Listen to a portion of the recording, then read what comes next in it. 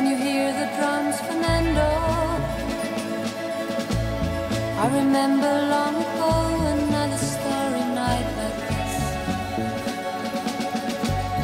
In the firelight, Fernando,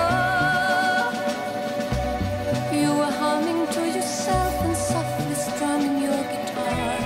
I could hear